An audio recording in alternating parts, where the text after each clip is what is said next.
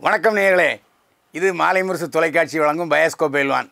இன்றைய நிகழ்ச்சியில் வலிமை படத்தின் திரை விமர்சனம். நீண்ட இடைவெளிக்கு பிறகு குறிப்பாக சொல்ல வேண்டும் என்று சொன்னால் இரண்டு ஆண்டுகளுக்கு பிறகு அஜித் நடிப்பில் வெளிவரும் படம் வலிமை.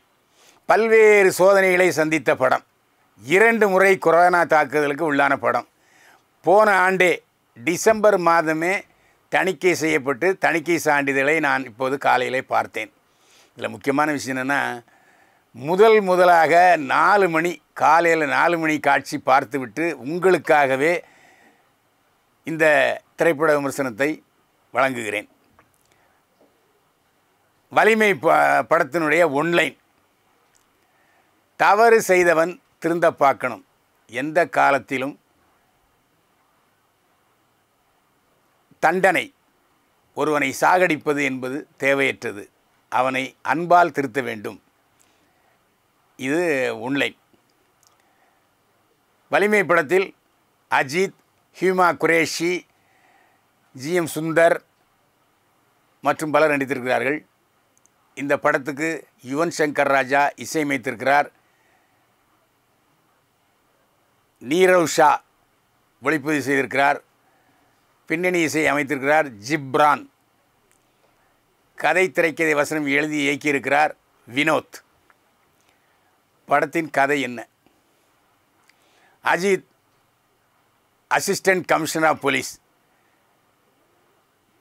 நகரத்தில் அடிக்கடி பைக் சேசிங் நடக்கிறது. பைக் திருட முயற்சி போய் பண்ணுகிறார்கள். பைக்கில் போய் செயின் ஸ்நாச்சிங் அதாவது போகிற பெண்களிடம் நகைகளை பறிக்கிற தீவிரவாதங்கள் திருட்டுகள் அதிகமாகின்றன. நகர போலீஸ் கமிஷனர் செல்வா. இந்த செல்வா யாருன்னா டாக்டர் ராஜசேகருடைய தம்பி. தமிழில் சில படங்கள் கதாநாயகன் நடித்திருக்கிறார் செல்வா. இவர் பழைய அமைச்சர் இந்திரகுமாரியின் மகளை திருமணம் செய்து கொண்டிருக்கவர் இந்த படத்தில் இவர் வந்து போலீஸ் கமிஷனர் நடித்திருக்கிறார். போலீஸ் கமிஷனர் மண்டையை பிச்சுக்கிறார். இருக்கிற போலீஸ் அதிகாரிகளை எல்லாம் ஏய்த்து விட்டு கண்ணில் விரலை தூ கண்ணில் மண்ணை தூவி விட்டு இந்த மாதிரி சட்டம் ஒழுங்கு சீர்கெடுக்கிறதே என்ற பொழுது யார் நே கடமை கண்ணியும் கட்டுப்பாடு நேர்மையான கண்டிப்பான காவல் அதிகாரி என்று யோசிக்கிறார். யோசிக்கும் பொழுது நினைவுக்கு இருக்கிறவர் நம்ம அஜித்து தான். இந்த மாதிரி நகரத்தில் ரொம்ப பைக் சேசிங் நடக்குது அப்படின்னு சொல்கிறாரு கண்டுபிடிக்கிறார் அஜித்து கண்டுபிடிக்கும் போது உங்களுக்கு தான் தெரியுமே சினிமாவில் நேர்மையான அதிகாரியை பணியாற்றவே விடமாட்டார்கள். இந்த அரசு நிர்வாகம் சீர்கெடுவதற்கு காரணமே முப்பது சதவீதம் நல்லவர்கள் எழுபது சதவீதம் கெட்டவர்கள். கெட்டவர்கள்லாம் லஞ்சம் உள்ளால் வாங்குவான். த தப்புக்கு துணை போகிறவர்கள். தப்பு செய்யலாம் கூட ஏ தப்பு செய்டா. அப்படி என்று தூண்டுபவர்கள் காவல்துறை அதிகாரிகள். அந்த அடிப்படையில் இந்த செயின் ஸ்நாச்சிங் போதை கடத்தல் விஷயங்களுக்கு துணை போகிற அதி அதிகாரிகள் இவரை எதிரியாக கருதுகிறார்கள் அஜித்தை. அப்புறம் என்ன? சஸ்பென்ஷன் சஸ்பென்ஷன் ஆனாலும் ஒரு நேர்மையான கட கடமை தவறாத அதிகாரி சஸ்பென்ஷனை மீறி அவருக்கு பதவி இறக்கம் செய்யப்படுகிறது. அசிஸ்டன்ட் கமிஷனருங்கிறவர் இன்ஸ்பெக்டராக பதவி இறக்கம் செய்யப்படுகிறார். பல போலீஸ் அதிகாரிகள் ஏகடையும் செய்கிறார்கள். ஆனாலும் துணிந்து அதை செய்கிறார். ஆனால் படத்தில் ஒரு முக்கியமான ஒரு ட்விஸ்ட் இருக்குது வால்ட்ரு வெற்றிவில் பார்த்தீங்களா? வால்ட்ரு வெற்றிவில் வில்லன் யார்? அதான் அந்த கதையை நீங்கள் மறுபடியும் ஞாபகப்படுத்திக்கணும் நான் சொல்ல மாட்டேன். ஆனாலும் பாசம். வேற என்ன செய்ய முடியும்? நேர்மையான அதிகாரிக்கு சோதனை வருவதே பாசத்தின் மூலமாகத்தான். அப்புறம் வில்லனாகவே இருக்கிறார். அப்புறம் மறுபடி வழக்கம் போல் எல்லாரையும் கண்டுபிடிச்சி கைத்தட்டல் பெறுகிறார் போலீஸ் அதிகாரி. அஜித். இந்த படத்தில் அஜித் கதாநாயகன். எந்த இடத்திலும் கோபப்படவில்லை ஆவேசப்படவில்லை எரிச்சல் அடையவில்லை கோபத்தை காட்டவில்லை. ஒருத்தன் மாட்டிக்கிட்டான்னு போட்டு இப்போ வர்ற ப படத்துலலாம் பார்த்தீங்க மிருகத்தை விட மோசமாக அட்டி கொல்லு கொல்லு கொல்லுன்னு சாவடிப்பாங்க. இப்படிப்பட்ட போலீஸ் அதிகாரியை இப்போது படங்களில் பார்த்து கொண்டிருக்கிறோம். ஆனால் இவர் வித்தியாசமான அதிகாரி. ஜூனியர்ஸு சின்ன அதிகாரிகளை விட்டு அடிக்க சொல்லுவார். அடித்து முடித்த பிறகு அவங்கள வந்து எஃப்ஐஆர் போட மாட்டார் சார்ஜ் ஷீட் போட மாட்டார் கோர்ட்டு கொண்டு போக மாட்டார். காந்தி புத்தகத்தின் சத்திய சோதனையை கொடுத்து அவங்க அம்மாக்கிட்ட இந்த பாரு பையனை சரியாக வளர்த்துக்க. இல்லாட்டி நான் பிடிச்சி உள்ளே போட்டுருவேன். உள்ளே பிடிச்சி போனால் அவனுடைய வாழ்க்கை கெட்டு போகும். அதனால் வீட்டில் உட்கார வச்சு திருந்த வை ஏன்னா எப்படியும் அவன் மறுபடியும் ஏதாவது ஒரு வேலைக்கு போனால் கூட ஒரு மாதம் ஆகும். இந்தா இந்த செலவுக்கு இந்த பணத்தை வச்சுக்கின்னு கொடுக்குறவர் ஒரு நல்ல அதிகாரி. காவல்துறையில் இப்படிப்பட்ட அதிகாரிகள் இருந்தார்கள்னா கொஞ்சம் திருடர்கள் திருந்துவார்கள். அந்த அடிப்படையில் நல்ல அதிகாரி. நல்லா நடிச்சிருக்காரு. இந்த படத்தில் அவர் காக்கி ச- சட்டை போட்டிருக்கிறாரா என்பது கூட தெரியவில்லை. படம் முழுக்க சிவில் ட்ரெஸ்லாம் வருவார். ஆனால் அந்த கம்பீர நட இருக்குது பார்த்தீங்களா அஜித்துக்கே உரிய அந்த காவல்துறை அதிகாரி நடை மிடுக்காக இருக்கிறது. அதே போல் சோகத்திலும் சோபிக்கிறார் அஜித்து. அஜித்து ஐம்பத்தைந்து வயதை தாண்டி வருகின்ற ஒரே காரணத்திற்காக டூயட் காட்சிகள் இல்லை. அது பாராட்டப்பட வேண்டிய விஷயம். 72 ரெண்டு வயசுலேயும் சிலர் வந்து நடன காட்சிகள் அமைக்கிறார்கள் காதல் காட்சிகள் அமைக்கிறார்கள். இது அது இல்லை. ஏன் படம்? வேறு மாதிரியான படம் என்பதை அஜித் இந்த படத்தில் நிரூபிச்சிருக்காரு. மற்றபடி பைக் சேசிங் வந்து சும்மா சொல்லக்கூடாது. அடேங்க அப்பா தூள் பறத்திருக்காருங்க இந்த படத்தை உட்கார வச்சு பார்க்குறது பைக் சேசிங் காட்சிகள் தான். நானும் கூட சில ஆங்கில படங்களை பார்த்துருக்கேன். அப்படியே ம மலைக்க வைக்கும் சில காட்சிகள். ஆனால் இந்த படத்தில் மிரள வைத்திருக்கிறார்கள் அச்சுறுத்த வைத்திருக்கிறார்கள். ஆ என்னையா அது வானத்தில் இப்படி எட்டி வதிச்சு சண்டை போட்டுக்கிறாங்க பைக்கில் போகிறவங்க அப்படிங்கிற மாதிரியான சண்டை காட்சிகளை அமைத்திருக்கிறார்கள். நிச்சயமாக உறுதியாக சொல்கிறேன் ஹாலிவுட் படங்களை மிஞ்சுகிற அதிரடி சண்டை காட்சிகள். இதற்காக அஜித்தை பாராட்டுவதோடு நின்று விடாமல் இந்த சண்டை காட்சிகளை அமைத்த திலீப் சுப்ராயனையும் பாராட்ட வேண்டும். ஏன்னா அவங்க அப்பா சூப்பரா சூப்பர் சுப்ராயன் ரஜினி கமலுக்கு எல்லாருக்கும் ஃபைட்டிங் மா ஃபைட் மாஸ்டராக செயல்பட்டவர். அவருடைய மகன் திலீப் சுப்ராயன் அப்பா எட்டு அடி பஞ்சு அவர் பதினெட்டு அடி பஞ்சிருக்காரு. பிரமாதமான சண்டை காட்சிகள். படத்துக்கு முதுகெலும்பே சண்டை காட்சிகள் என்று சொன்னால் மிகையாகாது. கொஞ்சம் ஓவராக இருக்க மாதிரி தோணும். ஆனால் பர பர விறு விறு அப்படின்னு போகிறது வந்து பைக் சேசிங் காட்சிகள் தான் இதில் பலம் அஜித் குமாருக்கு அவருடைய அழகான முகம். ஆனால் பலவீனத்தையும் சொல்லி ஆகணும் இல்லையா? எப்பவும் ஒரு நடிகர் கதாநாயக நடிகர் அழகாக தன்னை காட்டிக்கொள்ள வேண்டும் என்பதில் அக்கறை காட்டுவார்கள். ஆனால் அந்த அக்கறைக்கு அடித்தளமாக அமைவது இயக்குனர் தான் இந்த படத்தில் இயக்குனர் எச். வினோத்து அந்த விஷயத்தில் தூங்கிட்டாரா இல்லை கவனிக்காமட்டாரான்னு தெரில கண்டினியூட்டி ரொம்ப மிஸ்ஸிங்கு முதல் ஃப்ரேமில் அழகாக கருகருகருன்னு சும்மா சூப்பர் ஸ்டார் அழகாக இருக்கார். அதாவது அழகு மன்னன். அதாவது இருக்கிற கதாநாயகரில் செக்கச்செவையல்னு உள்ளவர் வந்து அஜித்து அஜித். மீசையோடையும் அழகாக இருப்பார். மீசை இல்லாமலும் அழகாக இருக்கிற ஒரே நடிகர் யாருன்னா அஜித்து தான். அடுத்த சீனில் பார்த்தீங்கன்னா அப்படியே அந்த ப்ரௌன் காருக்கு வந்துடுவார் அப்புறம் திடீரென்று அழகாக இருக்கிறார். திடீர்னு பார்த்தா அப்படியே கண் அப்படியே சொக்குது. தூக்கத்தில் எழுந்து நடித்த மாதிரி தெரியுது. சமயத்தில் இந்த போதை படம் அப்படியே கண் கரங்கிருக்குல்ல அந்த மாதிரி இருக்குது இதெல்லாம் தவிர்த்துருக்கலாம். யார்? எச். வினோத். ஏன்னா படம் பார்க்க வருகிறவர்கள் கதாநாயகனை அழகனாக பார்க்கத்தான் விரும்புவார்கள். அது எச் வினோத் கவனிக்க தவறிட்டார். பல இடத்துல கண்டினியூட்டி மிஸ்ஸிங் முதல்ல கருப்பு ஹேரு அப்புறம் ப்ரௌனிஷ் ஹேரு அதுக்கப்புறம் டோப்பா இந்த மாதிரி கச்சாமுச்சான்னு இருக்குது அஜித். பல்வேறு வேடங்களை ஏற்றுக்கிறாரோ என்று சந்தேகப்படுகிற அளவுக்கு அவருடைய அந்த ஹேர் ஸ்டைல் மாறி இருக்குது. அதை கவனிக்க தவறிவிட்டார் வினோத். அது ஒரு பலவீனம். அது மட்டும் இல்லை வர்ற படத்தில் எல்லாம் பார்த்தீங்கன்னா ஏசி ஏசி ஏசி. ஏ சினிமாவில் போலீஸ்காரங்க டெ டெப்டி கமிஷனர் இல்லையா?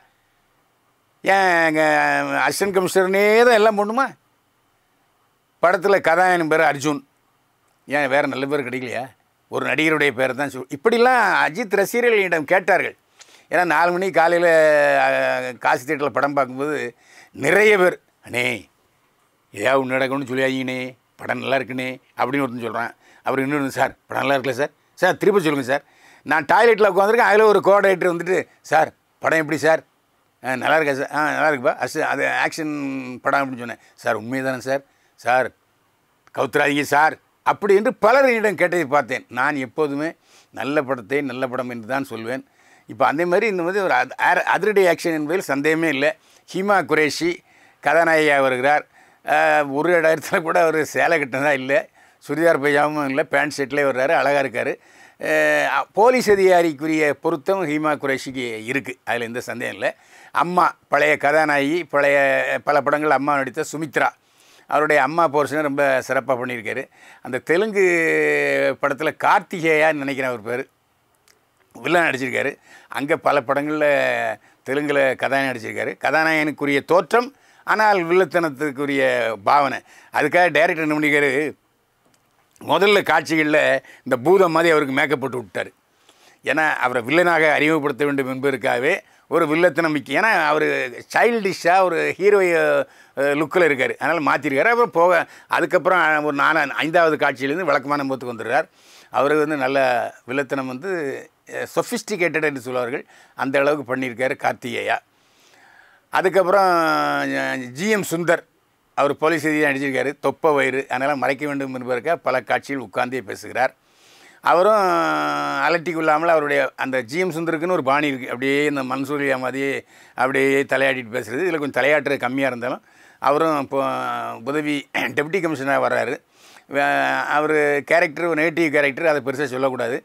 ஆனால் செல்வா இந்த படத்தில் போலீஸ் கமிஷனாக முத்திரை பற்றியிருக்கிறார் மீண்டும் அவருக்கு சில குணச்சித்திர வேடங்கள் வருவதற்கு வாய்ப்பு இருக்கிறது. குறிப்பாக சொல்ல போனால் விஜயகுமார் சில படங்கள் நடிப்பார் இல்லையா குணச்சித்திர வேஷம். அந்த வேஷங்கள் செல்வா இனிமே வருவதற்கான வாய்ப்பு இருக்குது நல்லா பண்ணியிருக்கிறார்.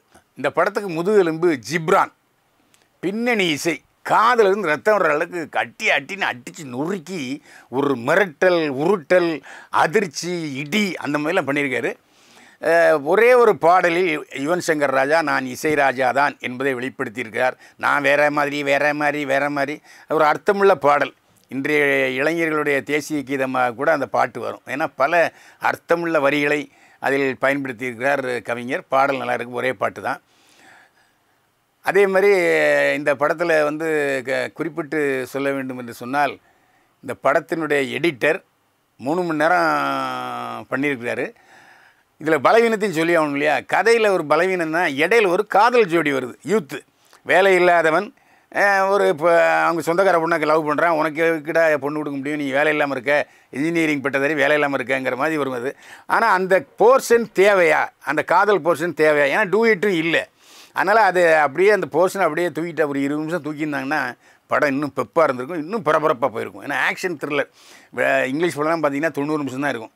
இது மூணு மணி நேரங்கிறது கொஞ்சம் அப்படி அப்படியே கண்ணை சொக்கத்தான் செய்யுது. ஏன்னா அஜித்தும் படத்தில் அப்படி கண்ணை சொக்கிட்டு தான் வசனம் பேசுகிறாரு நமக்கும் அவர் கண்ணை சொக்கும்போது நமக்கும் கண்ணை சொக்கிறது தவிர்க்க முடியாத சூழ்நிலையில் ஆகிவிட்டது. இதுக்கு முன்னால் வந்த படம் நேர்கொண்ட பார்வை. அதில் அஜித் வந்து பேசுகிறாரு பேசினார் பேசிக்கிட்டே இருந்தார் நல்ல விஷயங்களை பேசினார் வக்கீலாக வந்தார். அவர் சண்டை போடுகிற காட்சிகளை கூட சண்டை காட்சிகளை தவிர்த்திருப்பார். அப்போ அஜித் ரசிகர் என்னையா ஆக்ஷன் ஹீரோவா இல்லையே என்று சொன்னாங்க இல்லையா? அந்த ஒரு மனப்பான்மை இந்த படத்தில் அஜித் மாற்றிட்டார் நானும் ஆக்ஷன் ஹீரோ தான். என்றைக்கும் நான் லவ்வபிள் ஆக்ஷன் ஹீரோங்கிறத காமிச்சிருக்காரு அஜித். அதில் எந்த சந்தேகம் இல்லை. அஜித் ரசிகர்களை அஜித் திருப்திப்படுத்தியிருக்கார் என்று தான் சொல்ல வேண்டும். சென்டிமெண்ட் காட்சிகள் மனதில் அவ்வளவாக பதியவில்லை என்று தான் கண்டிப்பாக சொல்லணும். ஏன்னா லேடிஸ் விஷயங்கள் கொஞ்சம் படத்தில் கம்மின்னு சொல்லலாம். எது எப்படி இருந்தாலும் சாகச அதிரடி சண்டை காட்சிகள் நிறைந்த படம் வலிமை. இதில் இன்னொரு முக்கியமான விஷயத்தை சொல்லணும். ஏன்னா ரஜினியை வம்புக்கு இழுத்திருக்கிறாரா இல்லை நியாயமான விஷயங்களை சொல்லியிருக்கிறாரா என்பதையும் யோசிக்கணும். எப்பவும் பார்த்தீங்கன்னா ஓப்பனாக சொன்னார் ரஜினி சிஸ்டம் சரியில்லை. நம்ம நாட்டில் சிஸ்டம் சரியில்லை அப்படின்னு திடீர் திடீர் சொல்லிட்டே இருப்பார். அதற்கு யாருமே கண்டுபிடிக்காத ஒரு பதிலை இந்த படத்தில் அஜித்து சொல்லியிருக்கார். நாம் சரியாக இருந்தால் சிஸ்டம் சரியாக இருக்கும். நாம் திருந்தி விட்டால் சிஸ்டம் த- திருந்தி விடும்ங்கிற ஒரு வார்த்தையை சொல்லியிருக்காரு. இது ரஜினிக்கு அஜித் கொடுத்த பதில் என்று சொல்லலாம். அதே மாதிரி எப்பவும் என்கவுண்டர் வந்து தீர்வாகாது. தப்பு செய்தவனை தண்டனை மூலம் திருத்தாமல் நல்வழிப்படுத்த வேண்டும் என்கிற அந்த புரட்சியில் எம்ஜிஆர் பல்லாண்டு வாழ்களை சொல்லுவார். கொலை செய்கிறவன்லாம் சந்தர்ப்ப சூழ்நிலையில் குறை செய்கிறான் கொள்ளையடிக்கிறவனும் சந்தர்ப்ப சூழ்நிலையில் தான் குறை செய்கிறான் கற்பழித்தவனும் சந்தர்ப்ப சூழ்நிலை தான் குறை செய்கிறான் அவனை அவனுடைய மனதை திருத்த வேண்டும். உடலை உயிரை விட்டு வெளியே அனுப்புறது அல்ல அப்படின்ட்டு சொல்லுவார். அந்த மாதிரி அந்த பல்லாண்டு வாழ்கையுடைய கருத்தை இந்த படத்தில் அஜித் சொல்லியிருக்காரு. நல்ல கருத்து கருத்துள்ள படம். வலிமை. ஆக்ஷன் ரசிகர்களுக்கு சர்க்கரை பொங்கல்.